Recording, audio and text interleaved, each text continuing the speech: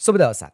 ඉතින් ඔයාල මේ අදත් එක තුලා ඉන්න දෙයකට මෙස්සල් YouTube චනල එකත් එක්කක් ඉතින් අද අපි මේ වීඩියෝ එකෙදි කතා කරන්න බලාපොරොත්තු වෙනවා මැග්නීසියම් සම්බන්ධ රසායනික ප්‍රතික්‍රියා ගැන. ඉතින් කලින් වීඩියෝ එක්කදී අපි සෝඩියම් සම්බන්ධ රසායන ප්‍රතික්‍රියා ගැන කතා කරා. ඉතින් ඔයාල ඒ වීඩියෝ එක බැලුවේ නැත්නම් ඔයාලට පුළුවන් මෙතන වැටෙන කාඩ් එකෙන් ඒ වීඩියෝ එක නරඹන්න. ඉතින් මේ වීඩියෝ එකේදී අපි මැග්නීසියම් ජලයත් එක්කම් වාතයත් එක්කම් සහ අම්ලත් එක්කම් පෙන්වන රසායනික ප්‍රතික්‍රියා සාකච්ඡා කරන්න බලාපොරොත්තු වෙනවා.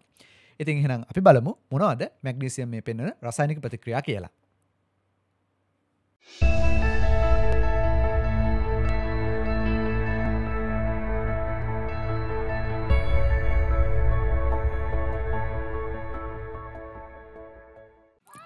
මැග්නීසියම් කියලා කියන්නේ දෙවෙන කාණ්ඩයට අයත් වෙන ලෝහමය මුල්ද්‍රව්‍යයක්. මැගනීසියම් වාතය සමක් ගැට්නහම වාතය තියෙන ඔක්සිජන් එකම් ප්‍රතික්‍රියා කරලා ඔක්සයිඩ් ස්තරයක් සාධනවා. එම ඔක්සයිඩ් ලේරේ නිසා මැගනිසියම් ආරක්ෂා කරන්න විශේෂ ආරක්ෂණ ක්‍රම භාවිතා කරන්න සිද්ධ වෙන නෑ. මැගනිසියම් පටිකෑල්ල වැලිකරදසයක මැදගත්තාම නැවත දිස්නේ බලාගන්න අපිට පුළුවන්.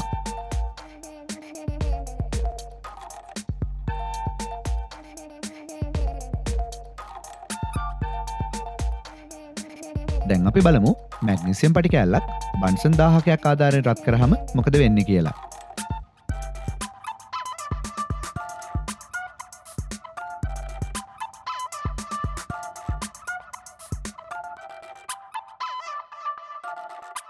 ඉතින් මේ ක්‍රියාවලියේදී මැගනිසියම් ඔක්සිජන් සමඟ දහනය වෙලා දීප්තිමත් සුදුවාලෝකයක් නිකුත් කරනවා. ඒ වගේම මැගනිසියම් ඔක්සයිඩ් සාධනවා. මේ මැගනිසියම් ඔක්සයිඩ් තමයි මේ සුදු පැහැයිම් පේන්න තියෙන්නේ.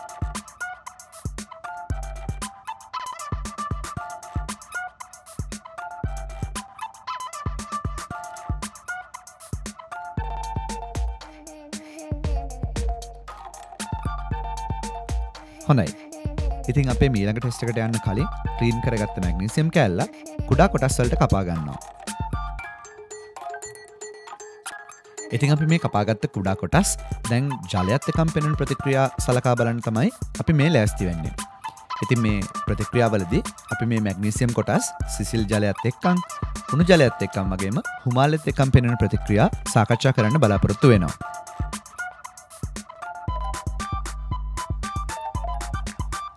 ඉතින් අපට පේන තියෙන දේ තමයි මේ කපාගත්ත මැගනීසියම් කොටස් සිසිල් ජලයත් එක්කම් කිසිදු ප්‍රතික්‍රියාවක් පෙන්න්න නෑ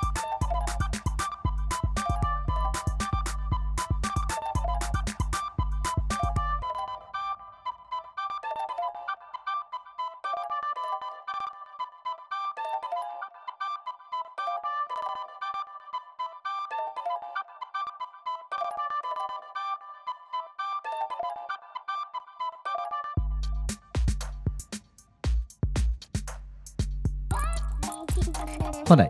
මීළඟට අපි මැගනිසියම් උණු ජලයක් සමඟ පෙන්වන ප්‍රතික්‍රියාව පෙන්වීමට අවශ්‍ය වෙන ඇටවුම සකස් කර ගමු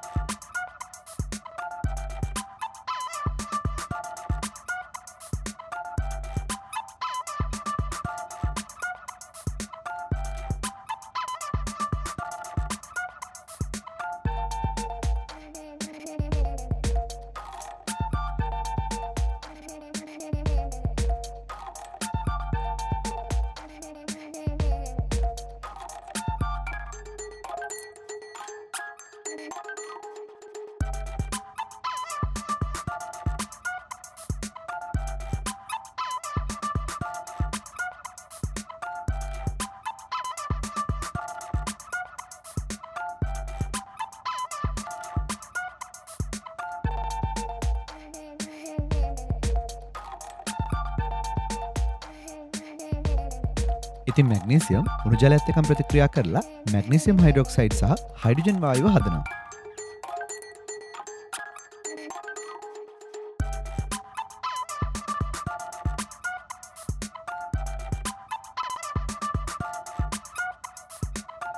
හොඳයි.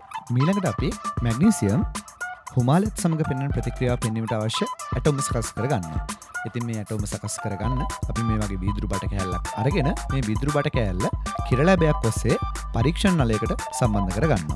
ඉතින් මේ පරීක්ෂණ නලය පාවිච්චි කල්ලා අපට පුළුවන් ඒ ඇතුළ හැදෙන හුමාලය මේ විදුරු බටේ දිගේ එලියට ගන්න.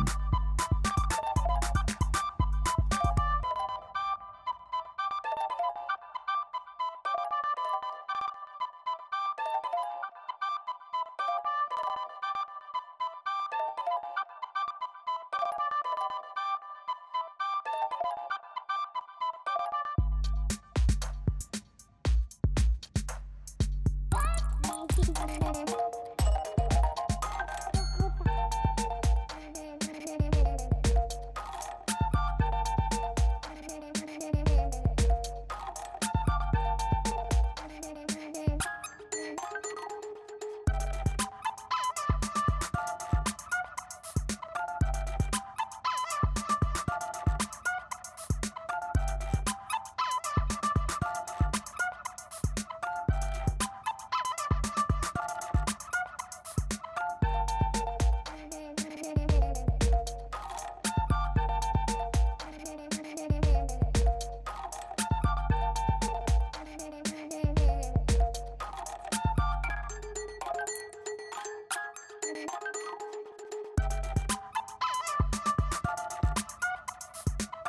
ඉතින් අපි හදාගත් ඇටවුම් භාවිතා කල්ලා හුමාලය සහ මැගනිසියම් අතරතියන ප්‍රතික්‍රියාව පරීක්ෂා කරද්දිින් අපිට පේන තියන් දේ තමයි මැගනීසියම් හුමාලය සමඟ ප්‍රතික්‍රියා කරලා මැගනීසියම් ඔක්සයිඩ් සහ හයිඩජන් හදනවා.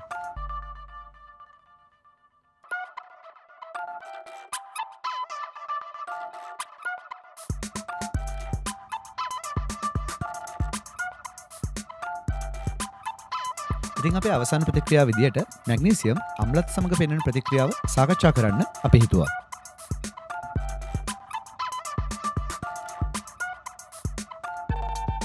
ඉති මේ පරීක්ෂණය කරන්න අවශ්‍ය වෙන ඇටෝම සකස් කරනවා තමයි ඔලට මේ පේන්න තියෙන්නේ.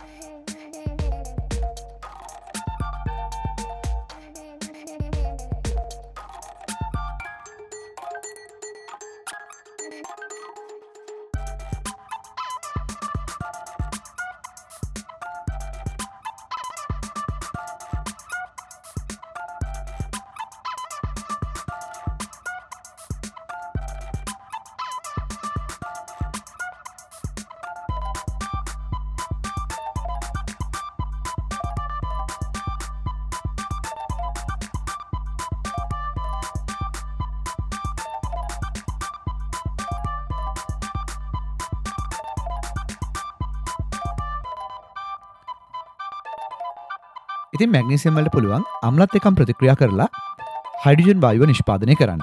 මේකට ප්‍රධානම හේතුව වෙන්නේ මැගනීසියම් සක්‍රියතා ශ්‍රේණිය හයිඩිජන් වලට වඩා ඉහලින් තමයි පිහිටන්නේ.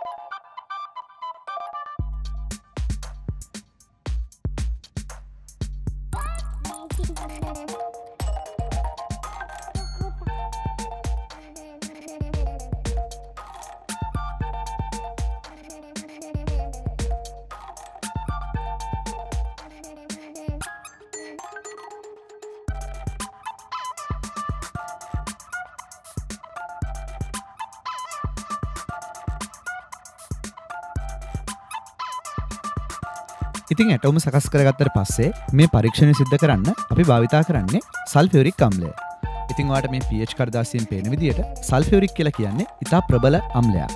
මේ අම්ලය මැගනිසිම් සමඟ ප්‍රතික්‍රියා කරට පස්සේ එයාට පුළුවන් හයිඩජන් වායුව නිෂ්පාදනය කරන්න.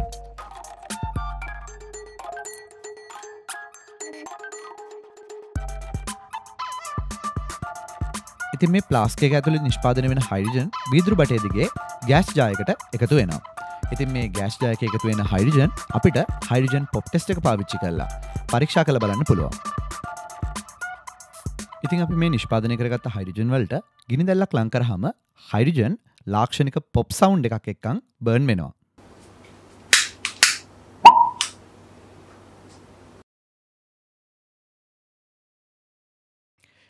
ඉතින් මං හිතනවා මේ වීඩියෝ එක බැලුවට පස්සේ මැගනිසියම් සම්බන්ධව පූර්ණ අවබෝධයක් ඔබට ලැබෙන් නැති කියලා. ඉතින් මේ වීඩියෝ එක හොඳයි නම් මේ වීඩියෝ එකට ලයික එකක් දාන්න මේ වීඩියෝ එක සම්බන්ධව ඔබේ අදහස් පහලින් කමෙන්ට් කරන්න ඒකම්ම ඔබේ යාලුවන්ට මේ වීඩියෝ එක බලන්න ඔවුන් එකම් එක ෂයා කරන්න. ඉතින් ආරාධනා කරනවා රැඳී සිටින්න දෙයකට මෙස්සෙල් YouTube චැනල එකත් එක්කා.